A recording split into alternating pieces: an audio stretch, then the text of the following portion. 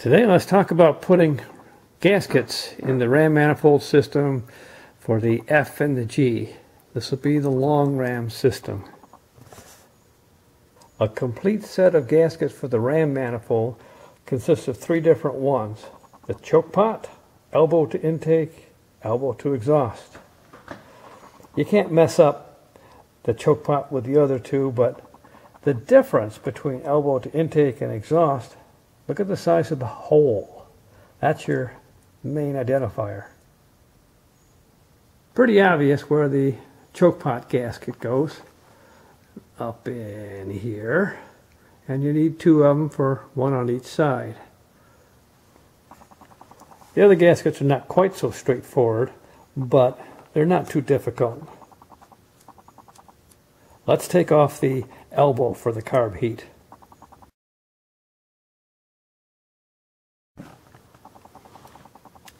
So here's the man. so here's the elbow removed. The nuts and bolts that hold this on are just half inch. The exhaust manifold bolts can sometimes give a wrestle because they get seized in here after years. But remember, you're only talking about a half inch and they're easy to break off. So here's your your elbow and as you can tell the top side has a smaller hole compared to the bottom side. And that's where your gaskets come in.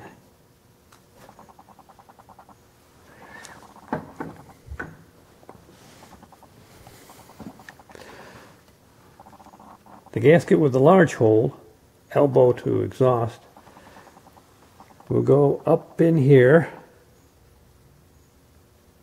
And the gasket with the small hole will go on top of the elbow and seal against the base of the carb.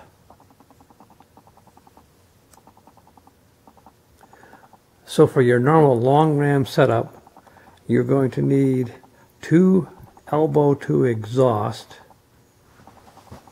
that's the large hole, and four elbow to intake because we're going to put one here and we're also going to put one here. This one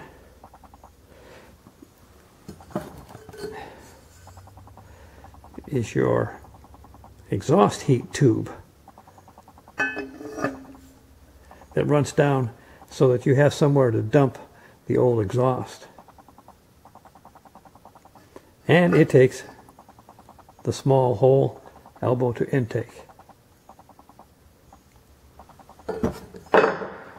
A note on installation, these connections only take 10 foot-pounds according to the service manual, so don't be cranking on them too much or you'll have broken bolts.